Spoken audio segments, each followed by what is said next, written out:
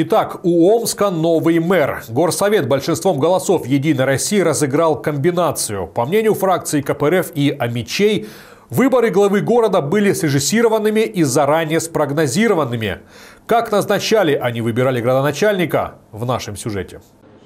Одна из главных тем последнего заседания городского совета в 2021 году – назначение градоначальника Омска. Итог выборов не стал ни для кого неожиданностью. По мнению коммунистов, он был предсказуем изначально. Принимать участие в этом, по их словам, фарсе Компартия отказалась и в знак протеста покинула зал заседания. 35 процентов наших избирателей проголосовало за КПРФ. И только на 8 процентов «Единая Россия». Но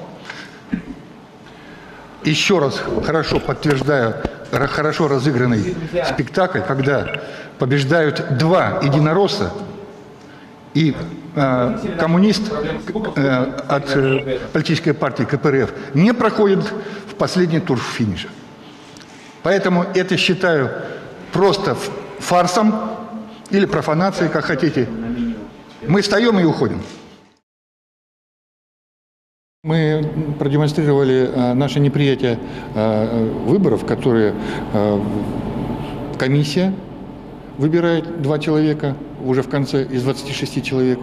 И потом большинство голосов «Единая Россия» дает голос своему же человеку. Мы, наша фракция, за прямые выборы, то есть от народа, за них – Отметим, кандидат на пост мэра от Коммунистической партии Российской Федерации Михаил Федотов не дошел до финального этапа. Попытка коммунистов снять с повестки заседания вопрос о выборах мэра не принесла успеха. нарушение регламента считают народные избранники от КПРФ. Председатель Корбут отказался даже поставить вопрос на голосование. Именно это, уверены коммунисты, говорит о том, что выборы были срежиссированы, а на пост мэра заблаговременно подобран удобный власти человек.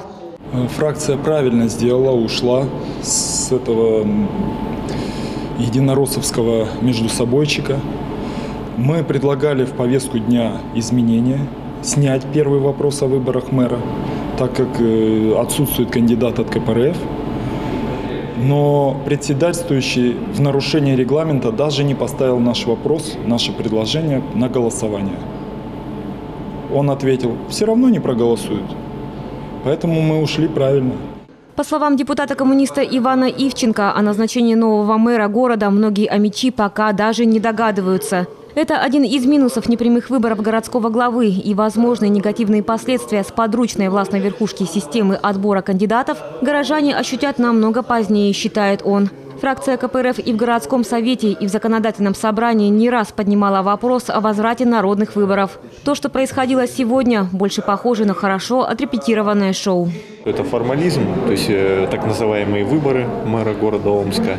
Хотя это никакие не выборы, это назначение. То есть э, все согласования были э, давно заранее проведены в Москве. Ну и вот сегодня официально город Омск получил вот Сергей Николаевич Шелестов в лице градоначальника. Наши товарищи в законодательном собрании выходили с законопроектом о прямых выборах мэра, мэра города Омска Омска.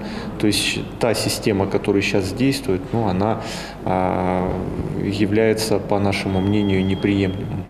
Не менее важным вопросом стало планирование городской казны. Бюджет Омска на следующий год дефицитный. Доходы городской финансовой кормушки в будущем году составят почти 23 миллиарда, расходы – 24. Таким образом, дефицит превысит 1 миллиард. Как и следовало ожидать, главный документ города был принят большинством голосов правящей верхушки. Фракция КПРФ проголосовала против.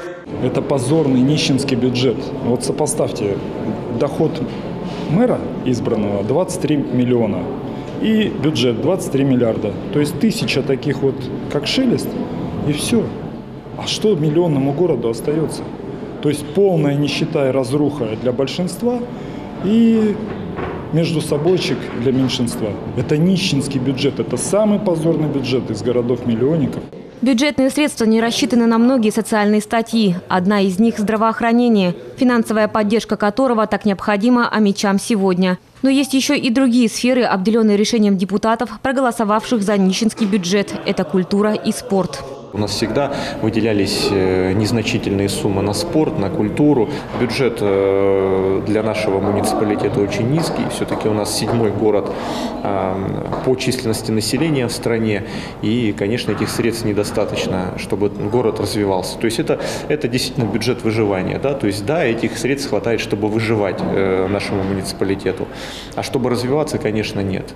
По мнению коммунистов, окончание года в стенах городского совета выдалось не самым удачным. Совсем не народный мэр и далекое от любых ожиданий финансирование Омска. Однако фракция КПРФ, несмотря ни на что, будет и дальше продолжать борьбу за достойную жизнь города. Юлия Слесаренко, Сергей Чернов, Обком ТВ.